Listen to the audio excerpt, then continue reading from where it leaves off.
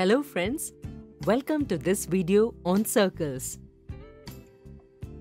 In the previous video, we learned about perpendicular from the center to a chord.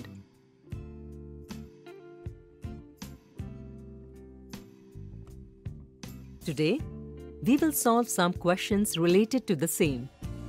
Come on, let's start.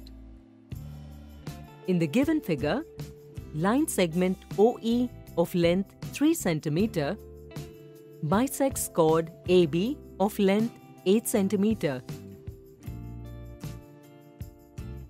Point F is on the circle such that OE plus EF is equal to OF. Now, find the radius of the circle and length of EF. Let's solve this. Friends, we are given that line segment OE bisects the chord AB.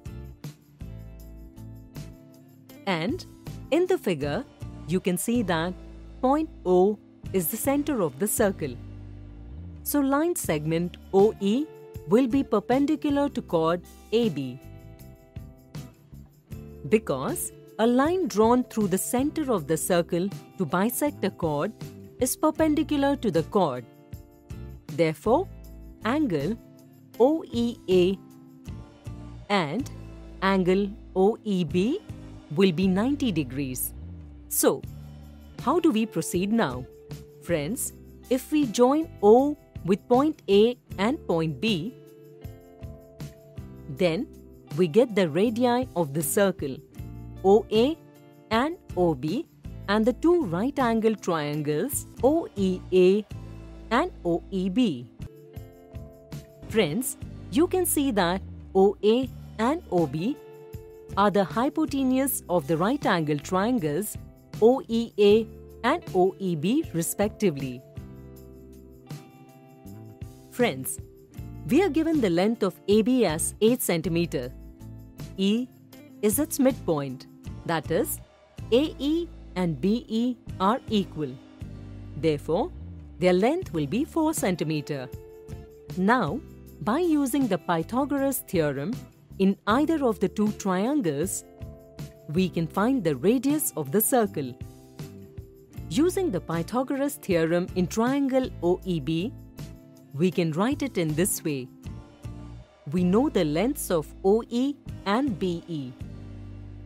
On simplifying it, we get the length of OB as 5 cm.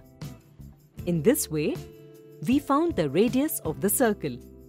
Friends, let's move ahead. We have to find the length of EF. Given that point F is on the circle, such that we join OE and EF, OF is obtained.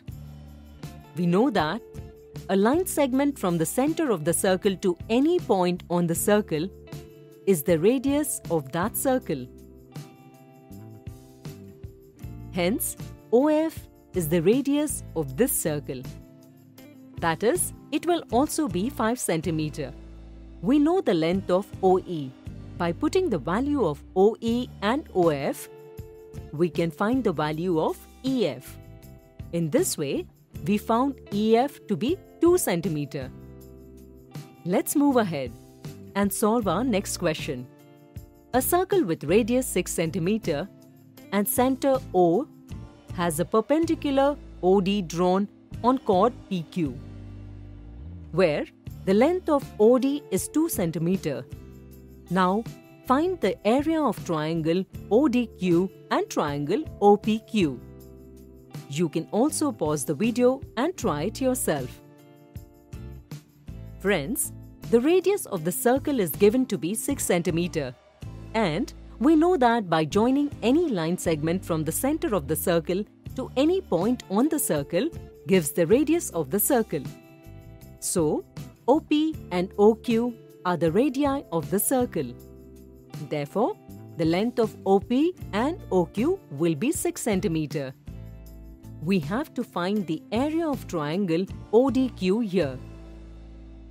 Friends, we know that the formula for the area of a triangle is half multiplied by base multiplied by height. Therefore, we can write the area of triangle ODQ as follows. Let's consider this as equation 1. According to the question, line segment OD is perpendicular to chord PQ. Therefore, triangle ODQ will be a right angle triangle. And OD is the height of this triangle which is given to be 2 cm. Friends, we know the height of the triangle ODQ. But we have to find the value of the base DQ. We can use the Pythagoras theorem in this triangle and find the length of DQ. Friends, pause the video and try to find it yourself. Here, we get the length of DQ as 4 square root of 2 cm.